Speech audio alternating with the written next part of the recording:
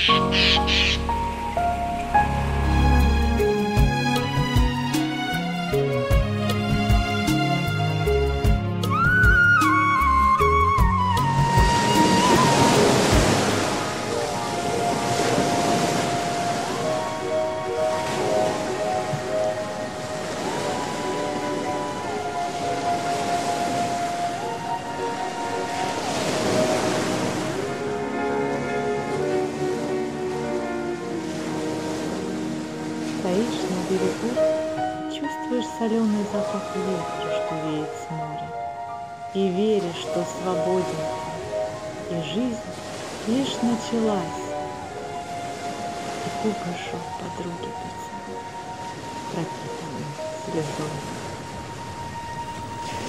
Здравствуйте! Сегодняшнее видео я начала со строчек из любимого кинофильма «Достучаться до небес». Я с ранних лет, с раннего возраста я просто бредила морем. Для меня это как какой-то живой организм, и оно постоянно, постоянно притягивало меня. Но вот так произошло, что увидела море я аж в 20 лет. И после нашего личного знакомства я поняла, что это любовь на всю жизнь. И я до сих пор верю в то, что придет время, когда я наконец-то буду жить, буду жить на берегу океана. Ну а сегодня я познакомлю вас с одной замечательной девушкой, которая уже давно проживает у моря, в Гуа. Уверена, что многие из вас хорошо знают Фалию и всю ее дружную семью. Дело в том, что она тоже блогер, блогер с Гоа. Сама Фалия из холодной Сибири приехала в Гоа по работе и здесь познакомилась с красавцем-индийцем, влюбились в друг друга, поженились, и сейчас они все вместе живут в Гоа. Собственно, э, канал Фалии так и называется «Сибирь, Гоа». Наше личное знакомство с Фалией произошло в Калангуте, пока мой муж Парам оставил меня вместе с Артуром на целых два дня. Да, кстати, просто многие из вас в комментариях э, спрашивали, как же ж так, вы уехали отдыхать, развлекаться на море, а кто же ж управляет отелем, кто следит за бизнесом? Так вот, отвечаю, в будние дни всем этим делом занимался Насим. Слава богу, у него э, неплохо получается, но вот на выходные, на выходные, когда особенно много туристов, Парам уехал. Уехал и покинул нас с Артуром э, на целых два дня. Посмотрите, пожалуйста, кстати, сюжет о том, как э, мы прощались с нашим папой, с нашим мужем. Посмотрите, пожалуйста, этот сюжет.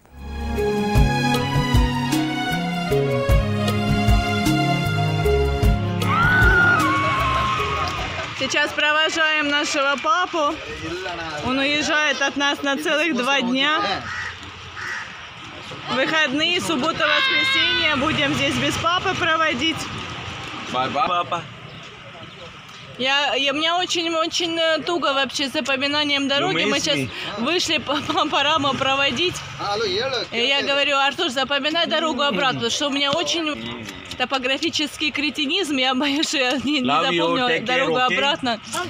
Always with mama. Артур, ты помнишь дорогу? Listen, listen, mama, all time. Don't go water, okay? Without mama, okay? You promise? Bye bye. Дорогу помнишь, Артур? Bye bye. Дорогу найдешь? А? Говорит, что не найдет. Я, я боюсь, что я забуду. Что я, я переживаю, что я все эти два дня буду искать дорогу до нашего жилища. Business. Бизнес, call, call you, да? Yes. I miss you, my sweetie. Папа, come back soon. Yes. Come back very soon. Take care. Care mama, okay?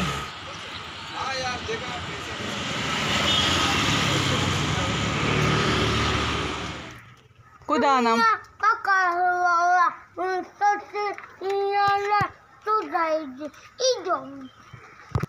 Ребенок ведет меня. Говорит, я все помню, я все знаю, ты мне говорила, я обращала внимание на некоторые моменты, и он все запомнил. Говорит, не волнуйся, мама, я все найду. Аккуратно, иди возле стеночки, Артур. Постоянно транспорт ездит тут. Ну, дальше куда?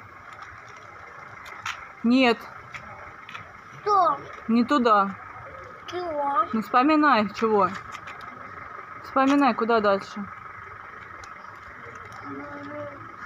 Туда.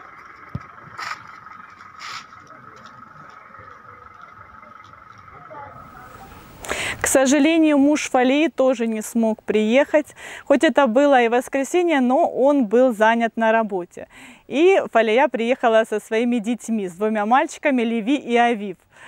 Очень красивые ребята. Я рада, что Артуру тоже предоставилась возможность пообщаться с ними. Ну, правда, дети разыгрались аж в конце. В конце уже Фалии нужно было убегать домой, так что времени, к сожалению, на общение было мало. Но все равно мы были очень рады знакомству. Ладно, давайте, не буду я тянуть.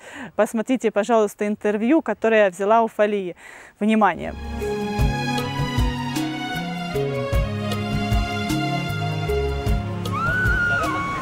Все, начинать? Да, ну что, расскажи, как тебя зовут?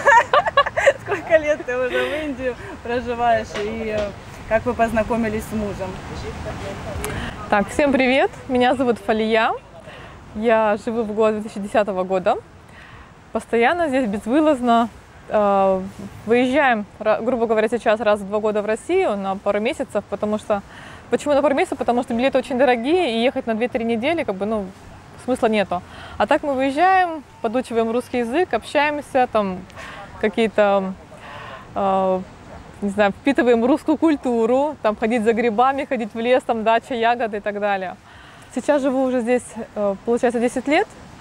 Э, Приехал сюда работать гидом экскурсионным от компании Пегас Туристик. Я работала два года в Турции, и на зимнее направление нас отправили в Гоа. Я вообще хотела поехать в Таиланд, но в Таиланду не получилось, потом решила поехать в Китай. С Китаем тоже не вышло. И такая думала, ну какие еще варианты? Остается только Индия. И вот приехала сюда, приехала, ужаснулась от того, что как здесь грязно. Я вообще, честно, была в шоке. Я думала, как же здесь дожить до 8 месяцев, потому что мы приехали в начале октября, и нам нужно было здесь добыть до, по- побыть до мая. Я думала, боже, мне бы только здесь дожить. Куда именно приехали? В Гоа, в Гоа. Куда, в какой городок? В Кандали. Гоа намного чище, чем во многих других частях. Ну, так этого я же не знала. То есть я-то, я-то сравнивала это все с Турцией. В Турции, конечно, там идеальная чистота, и поэтому... То есть первое было вообще неприятие, а потом на пятый день случайно мы познакомились с Оскаром. Э, Ну, так вышло. И как-то закрутилось, завертелось, что в декабре мы уже начали жить вместе, хотя как бы этого я не хотела, но так случилось. Э, 13 февраля сделал предложение мне. И э, когда я улетела из Гоа обратно в Россию, в Сибирь, улетела 2 мая, 19 мая он уже был у меня в городе, прилетел делать предложение, спрашивать разрешение моего отца.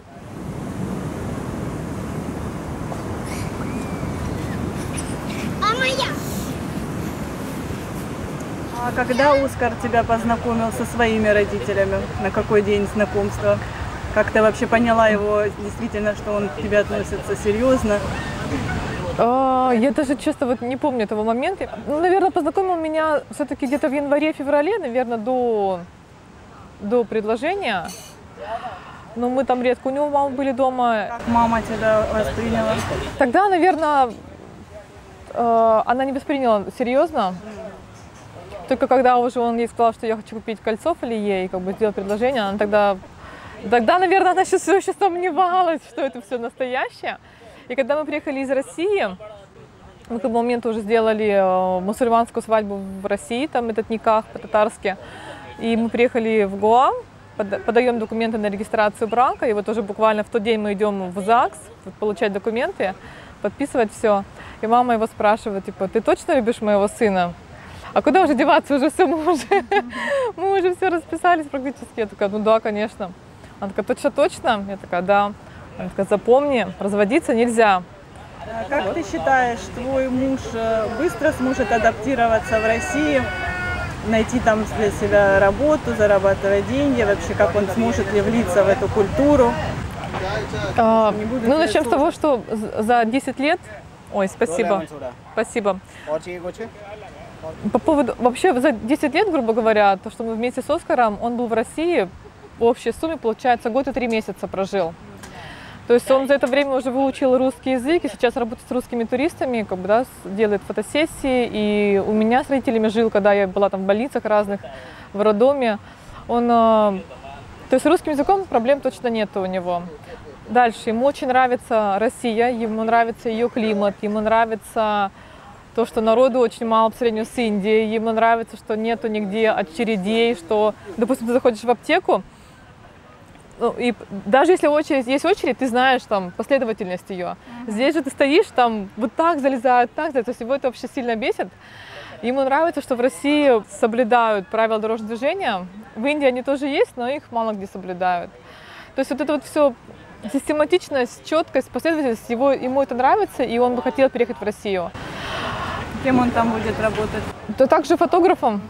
Вот. а, Я тоже люблю Россию и люблю Гуа, поэтому я еще как бы ме- мечусь. Но с другой стороны, экономическая, точ- экономическая составляющая, мне кажется, лучше в Индии. Потому что благосостояние индийцев растет, экономика очень быстро развивается, и мне кажется, все-таки будущее, наше будущее будет в Индии.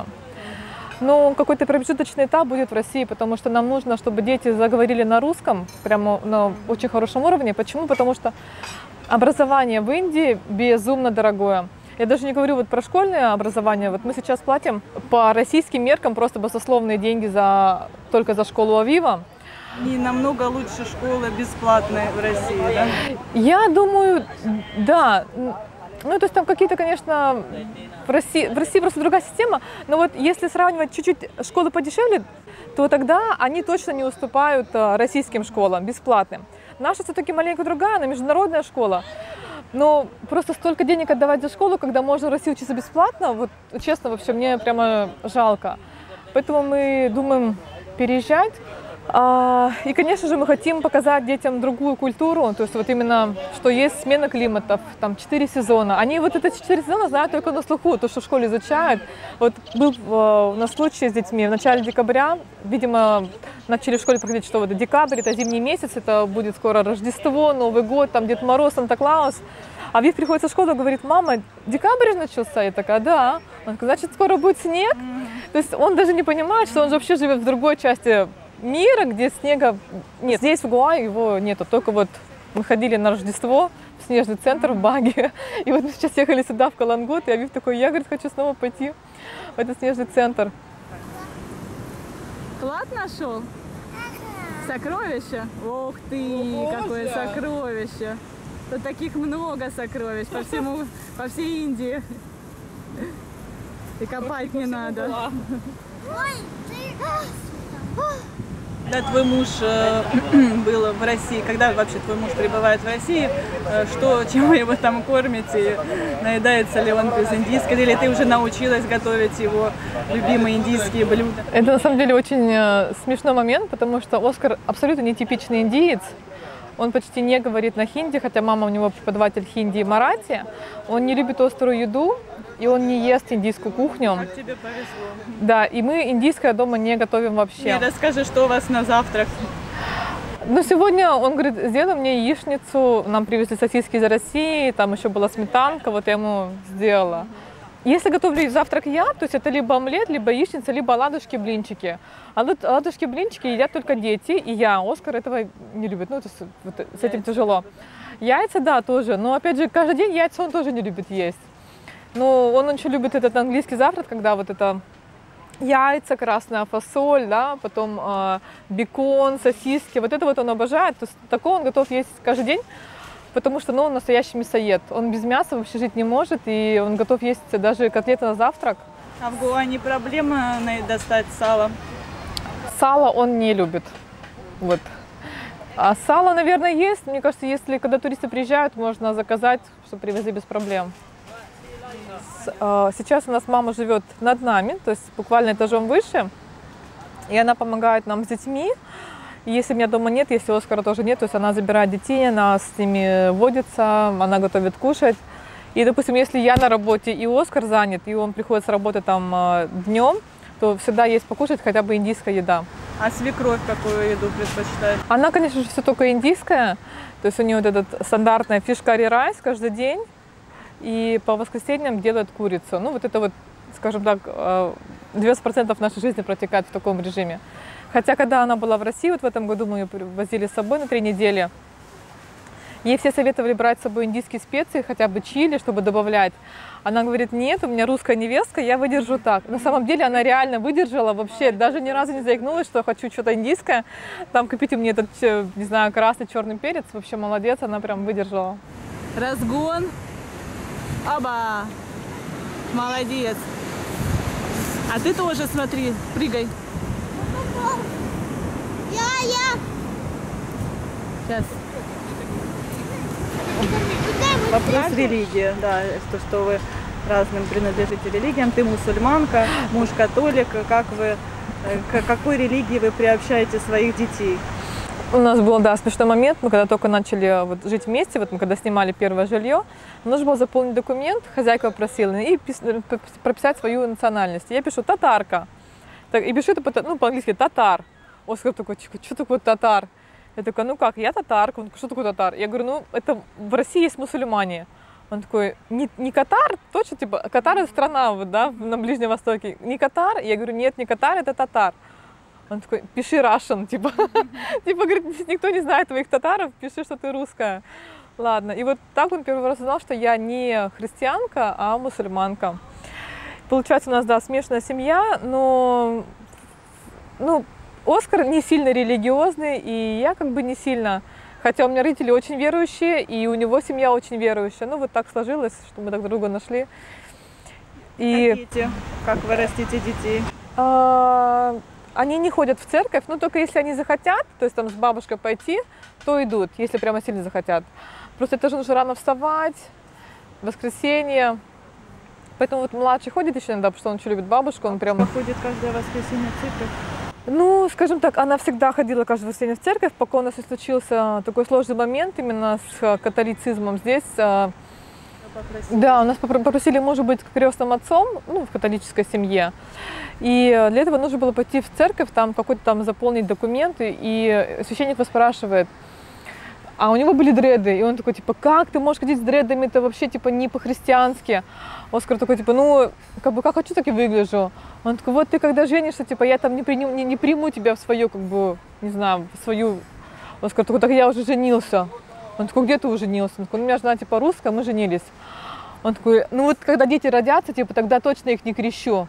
Тот такой, они так они уже у меня двое детей. Он такой, и чё? Типа, не, не крестил их? Он такой, да, мы крестили. Он такой, кто тебе крестил детей? Он такой, ну вот мы, мы крестили в Махараштре, там мама договорилась.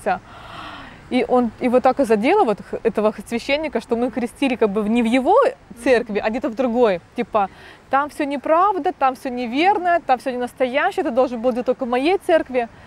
И вот мы это все всегда рассказали э, маме. Мама, конечно же, была в шоке, что ну, ну это же неправильно, так не должно быть. И тогда, наверное, вот у нее чуть-чуть вот перекос пошел в другое. Поэтому она сейчас ходит в церковь, но уже без такого э, ярого рвения туда.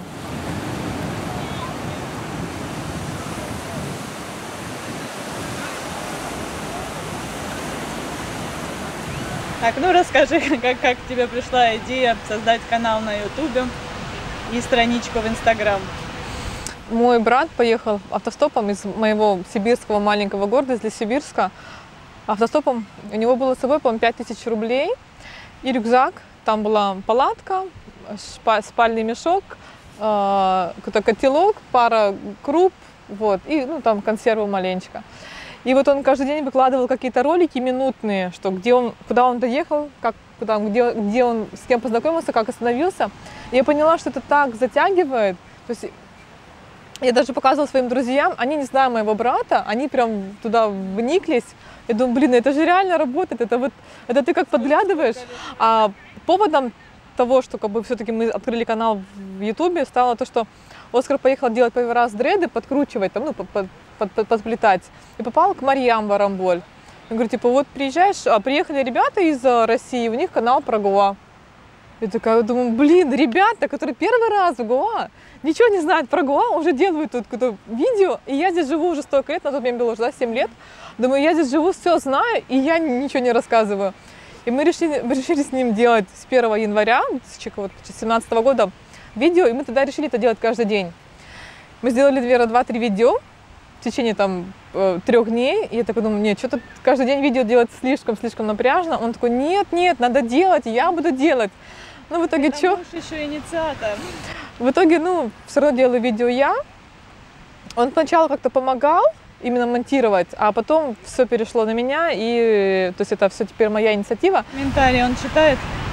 Комментарии он не читает, если там какой-то, знаешь, негативный сильный комментарий есть, и меня прям зацепил он, и я говорю, смотри, там какая-то коза написала. Он такой, сейчас я там ему отвечу. А как ты сама реагируешь на не очень приятные комментарии?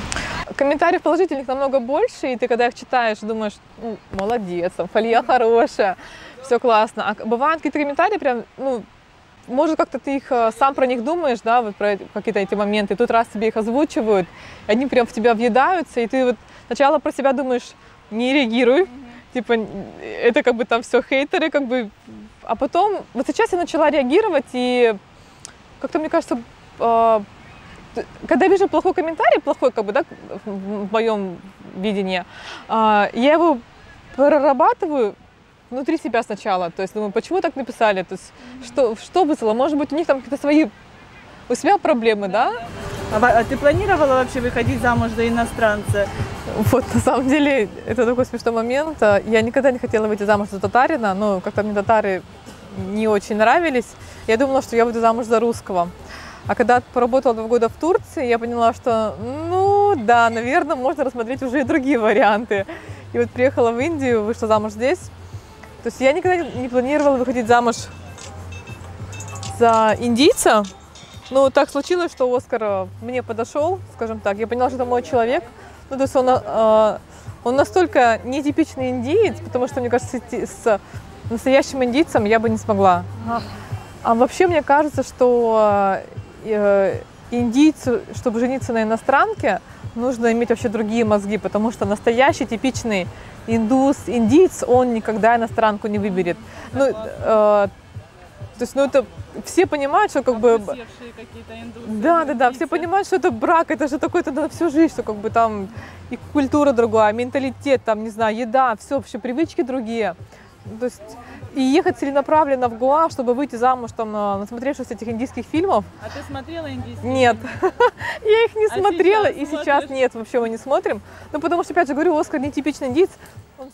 Кстати, представьте, мой муж Парам тоже подписан на канал Фалии, причем с колокольчиком, и смотрит ее видео одним из первых.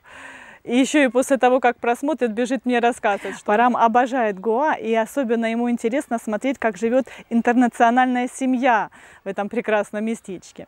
А я подписана на Инстаграм. Я оставлю в описании ссылочки на канал Фали и на Инстаграм Фали, так что, кому интересно, заходите, подписывайтесь, знакомьтесь с этой семьей поближе. В Гоа много девушек, которые вышли замуж на из э, России, из Украины, из Беларуси. Казахстан, да, очень-очень много, и с каждым годом число растет. А, опять же, очень много девушек, которые здесь забеременели от индийцев, а, родили э, и живут здесь, но как бы индийцы на них не женятся. Я об этом не знала совершенно недавно. Это их оказалось очень много, особенно вот в курортной зоне. Но тем не менее, очень много тех, кто все-таки замуж вышел. Ну, это, вот говорю, это как, а, наверное, не нужно это планировать однозначно. То есть это вот... Ну, а как в основном эти девушки перебирают э, своих мужей к себе на родину или остаются здесь в Гоа? А, здесь в Гоа остаются. Ну, потому что здесь есть море, здесь такое шанти-шанти, не знаю. Ну, Гоа вообще, по сути, как деревня. Ты приезжаешь как бабушка в деревню, только еще есть море. Здесь клево. успеха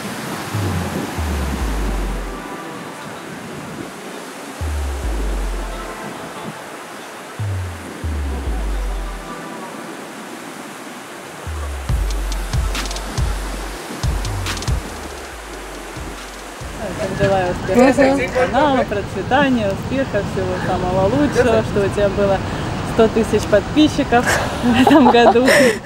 О, крутое пожелание. Спасибо большое, Наташа. Я тоже бы хотела, чтобы у меня было 100 тысяч подписчиков в этом году. Но на самом деле а, сейчас нету задачи прям а, видео выкладывать, потому что сейчас делаю большой упор на Инстаграм. И э, хочу, чтобы у тебя тоже... У тебя есть Инстаграм, кстати, я не знаю? но Есть.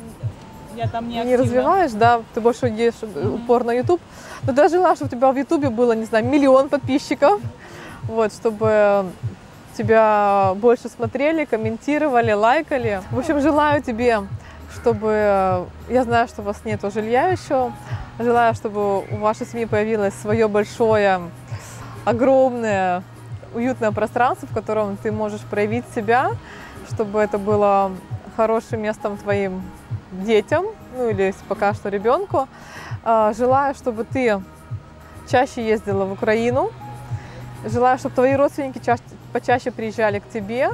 И я всем подписчикам твоего канала желаю приехать в Гоа, как минимум, посмотреть на эту страну и, конечно же, приехать к тебе в гости. Вкусный,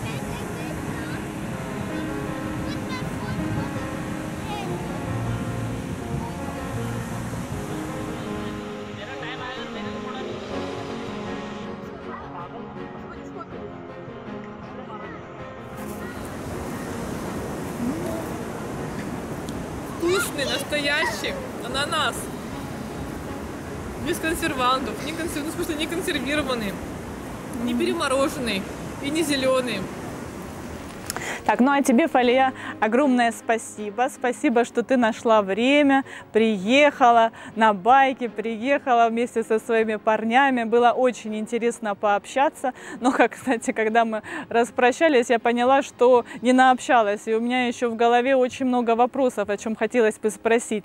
Ну, я думаю, что это не последний раз, а я думаю, что мы еще с тобой встретимся и поговорим. Спасибо. Ну а вам, мои дорогие зрители, спасибо огромное, спасибо большое, что вы смотрите и досматриваете все мои видео до конца. Следующее мое видео будет особенно интересным, вас ждет очень большой сюрприз Гоа. Так что я сейчас вот настоятельно вам рекомендую нажать прямо сейчас на колокольчик, и тогда уведомление о следующем видео придет вам, и вы не пропустите. Ну а на сегодня все. Всех люблю, целую. До свидания. До новых встреч. Подписывайтесь на наш канал. Впереди вас ждет еще много всего интересного.